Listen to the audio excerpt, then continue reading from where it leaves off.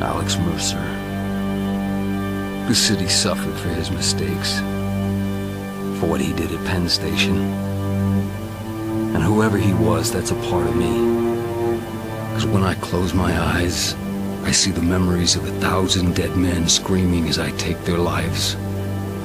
Moments I'll relive forever.